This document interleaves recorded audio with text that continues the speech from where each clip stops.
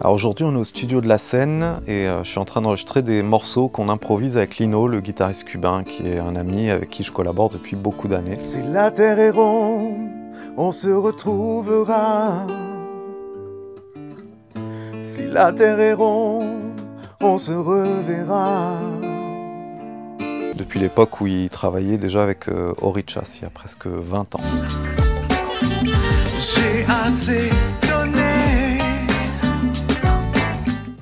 Prochain projet.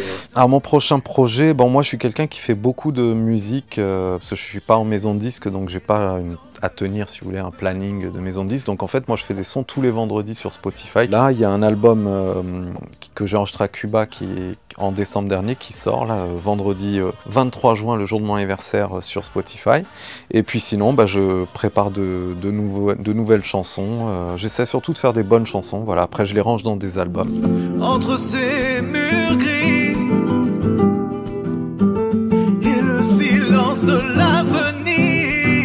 m'appelle donc euh, Marc Isla et je chante depuis euh, plus d'une vingtaine d'années.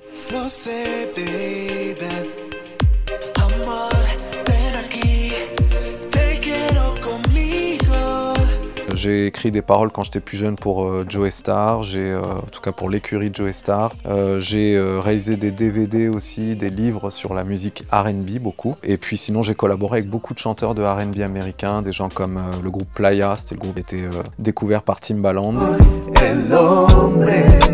Para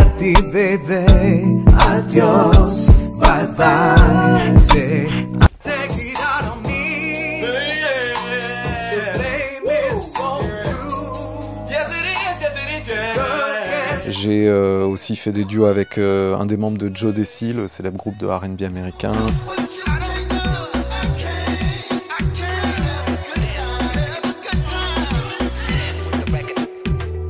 J'ai chanté avec euh, Cole, Bobby Valentino.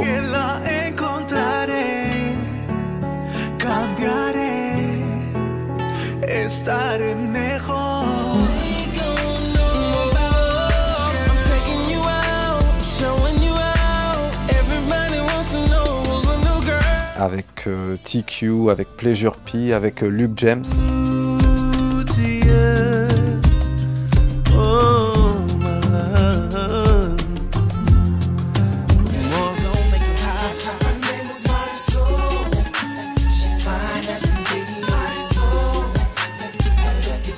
Voilà, avec plein plein de chanteurs euh, R&B américains.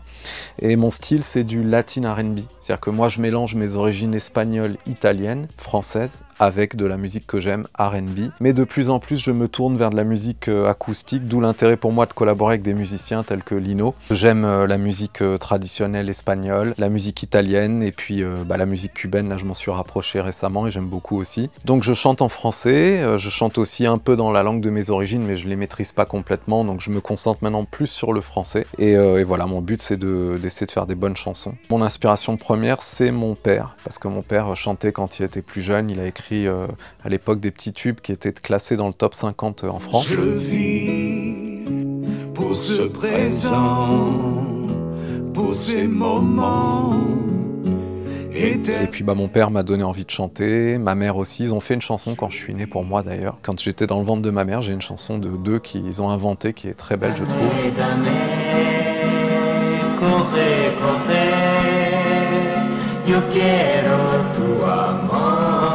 Et voilà, donc mon but avec la musique, c'est de m'exprimer. Je trouve qu'en tant qu'être humain, on, ressent des émotions, on a une vie qui est assez courte finalement, et c'est un peu mon témoignage de vie. Voilà, si des gens euh, ressentent ce que je ressens, les émotions qu'on vit tous, hein, on vit tous des, des déceptions, des rêves, des ruptures, des envies, etc. Donc j'essaie de traduire ça, voilà, simplement parce que c'est, je trouve que c'est dommage de vivre et de pas laisser, euh, de pas partager tout ça avec les autres. Voilà.